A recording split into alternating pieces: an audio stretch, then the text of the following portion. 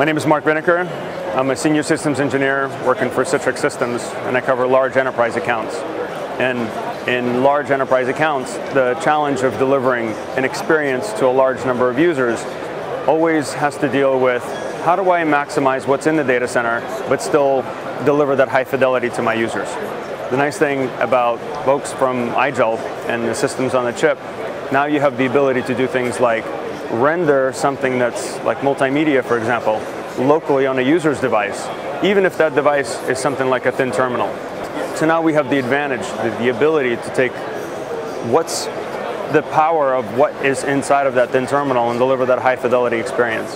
And at the same time, we have the ability to offload that processing power from the data center to allow more users to come in and be hosted on the same physical hardware.